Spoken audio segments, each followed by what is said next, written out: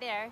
So I don't have a lot of time before it's gonna get dark, but I wanted to share some of my thoughts with you as I share some of this beautiful nature. There are these two guys here. They were just playing with their swords. Anyway, um, so just so you know, we stayed home, I think for an entire solid month at least. Um, now we're required to wear masks when we go into any store, which we are complying with. Um, however, uh, not loving it. And I gotta say, you all, if you are arguing for wearing masks, you might be missing out on some uh, key revelations. And one of them is go out wearing your mask and just observe what the others are doing.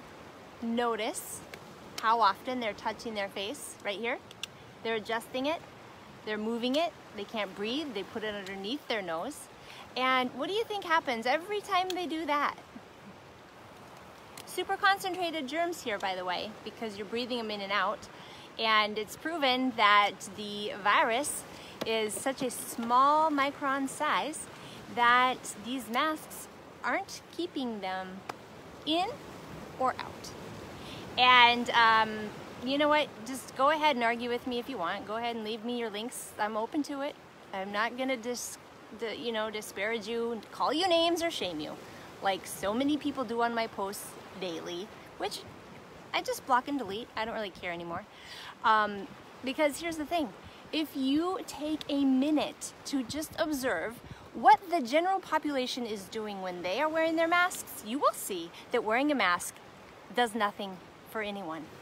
It doesn't. Why? Because they're constantly touching the mask. They're touching their nose, they're moving it down below their nose so they can get more oxygen. People are getting headaches. Um, you know, they can't, they feel like they can't breathe, which makes sense. Uh, and here's the thing, if you are staying at home, you're simply lowering your immune system uh, due to higher cortisol levels because you're feeling more stress and more fear. And when you're feeling more stress and fear and you have higher cortisol levels, it actually lowers your immune system's ability to fight infection. And here's the other piece your body is full of bacteria and viruses, and you're always exposed to them. You're constantly fighting them off, you're, you're stimulating an immune response. And if you're just staying at home and you're not exposing yourself to bacteria and viruses, you're going to have a lowered immunity. Then when you leave your house, guess what's going to happen? Yes, you'll be exposed to more bacteria and viruses and be more susceptible as a result of having stayed home and being vitamin D deficient because you're not out in the sun and getting the fresh air. So, how do we combat this? Well, We've got to be vocal about it because the mainstream media is against us. Why? Call me a conspiracy theory. Again, I don't care what your opinion is, but I'm just laying this out there for those of you who want to listen. And I spend a lot of my time researching, and you know that due to the chronic illness I've faced, I have educated myself a great deal on the immune system in the body. And thank you for the hearts, Sarah. I love it. Thank you for showing up tonight. Um, I'm hoping I can get all my thoughts out before the sun sets here. Or I guess it is set. I'm going to show you the view here. Anyway, my point is, I want you guys outside, getting sun, getting fresh air, grounding. That means barefoot, right? Even if you're just at home and you can put your feet on in the grass in your lawn. You got to ground, okay? Get yourself out there. Get exposed to natural viruses and bacteria in your environment. Gary, I'm glad to see you on here because I don't know if I tagged you today, but you all, there is a really cool event happening this weekend. I'm gonna just um, share, I'll share a link with you all in the, the video here um, afterwards, but basically it's by Dr. Buttar, who we all know everyone is trying to discredit because he's speaking out against the mainstream media. Ah, you guys, I am so freaking fed up with them trying to determine what is right for my body and what is right for your body in terms of your health. And I'm fed up with them trying to control what your, how your doctor wants to treat you. It's ridiculous. And it comes down to pharma and insurance. Guaranteed, follow the money every single time. So Gary, back to you. Um, if any of you are in a the police force or any law enforcement or in the military, this weekend Dr. Buttar is hosting a, an event where he's going to connect the dots for you on the science and he's going to speak to you about the civil liberties and rights of people. And he's going to share with you why the wool is being pulled over our faces, you all. Pulled over. Think about it. And I'm going to point out Democratic states because I'm seeing a trend here. And comment below if you agree. Are you seeing this trend, at least in your state or elsewhere in the news? I don't know. Um, but the trend is they inflate the numbers. They're trying to make it look worse than it is. They're trying to really scare their population. They're they're enforcing. Their police are arresting people for not wearing a mask. I mean, arresting when we're not even considering the science. I'm livid. I, are you livid? I'm pissed. Like this is getting really out of control and out of hand. The other piece that I'm really pissed about is that the the doctors that have had the strength to speak out and share what's working for them and to also uh, question the numbers because did you all know this? A PCR test is a test where they are um, increasing the numbers of, of the virus, the DNA, in the blood that they take, or oh gosh, now I'm gonna mess it up. PCR test, just do your research, but it has something to do with they increase the numbers until they get up positive, but they can change what the threshold is and change the numbers to fit their agenda. This is an issue, you all. This is a problem. We're shut down the country. We have 40 million people right now on public assistance and unemployment. We have employers saying they can't get their employees to come back to work because they say, no, I'm getting more from an un unemployment check. Why would I come back to work? I mean, I mean, come on. And I have never been too political. You know this. You've seen me. I haven't, I haven't said too much until recently. These recent weeks, you all have pushed me over the flipping edge. And if this is hitting home for you, click the share button and tag people. We need to spread the word on this. We need people paying attention. And I'm going to share the link again to that, that um, symposium that is this weekend.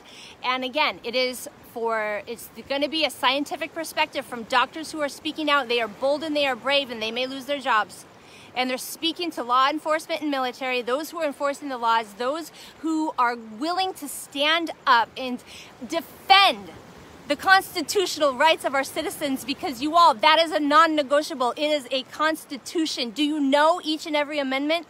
I don't know you all, but every, we've gone through every single amendment each day we go through a new amendment with our kids during homeschool. And if you're not doing that yet as a homeschool parent, ugh, because I'll t- I guarantee you they're not teaching you that at, at their schools right now. Because obviously they're not in school. So why not take the time now to learn this? Anyway, I am encouraging you all to learn about the immune system. A virus requires immune modulation. Okay, so think about this 60% of Americans do not receive a flu vaccine. We know they do not get the strain correct every year because it mutates. Hello. Now, here's the other piece it's a this coronavirus is an RNA virus created by man. I'm gonna say it. I'm just gonna say it. Everything that I've learned points towards that. And yeah, it pisses me off. Crimes against humanity are happening here. Crimes against humanity. And media is spinning it to try and scare you, and they're stealing your rights right from under your noses. And if you're not learning about the body and the immune system and biology and ah, you guys, you got to strengthen the immune system. You've got to look for the solutions in terms of immune modulation. And here's the other piece that's going to be hard for you to grasp if you have been uh, influenced by Western medicine and the mainstream media. That when you are looking for natural solutions, guess what? Snopes, which is bullshit, Snopes is going to tell you that it's, what do they call it when they talk about their they're fact checkers or whatever they're called. You guys, Snopes is BS. It's it's just BS, bought and paid for. Um, these fact checker websites, they're B freaking S. Like, I could go on and on and connect so many dots for you right now. Um, but I really encourage you guys to do your own research and study and get pissed. Don't be complacent. Don't be shy about speaking out. Let people rain down on you and swear at you and shame you and whatever these people do that I call them they're just not awake. They're just they're just following, right? We need leadership right now. We need people that are pissed to wake up and share how they feel. We need you speaking out because you're gonna get censored by Facebook. You're gonna get censored on YouTube. You guys, I have you, I have videos deleted daily. Um, we need you speaking out on Instagram, all the platforms. Speaking out. Don't be shy. Because the problem is if we all sit back and we think someone else is gonna do this, guess what? No, because we're at war. This is a digital war right now. Your rights are being stolen. I, and I, I, don't know if you can even hear me. I'm speaking loud, but the waves are crashing and the sun is setting. And I just hope this message comes across because I'm, I'm just fired up and I'm pissed off. and I feel like we need to be speaking out.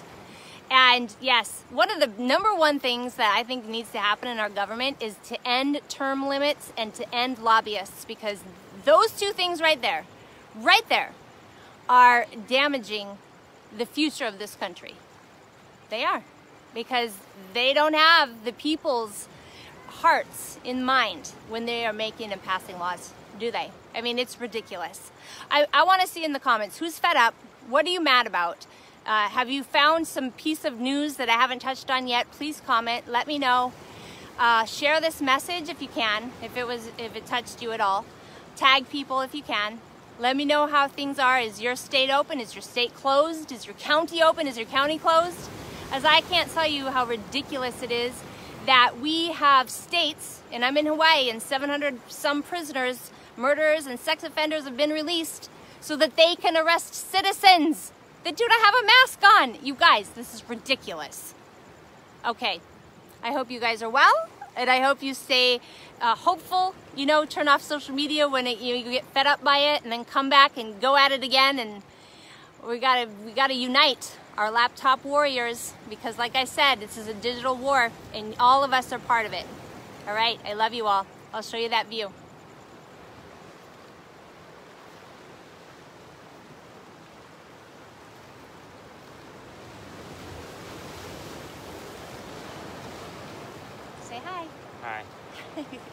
That's Drew.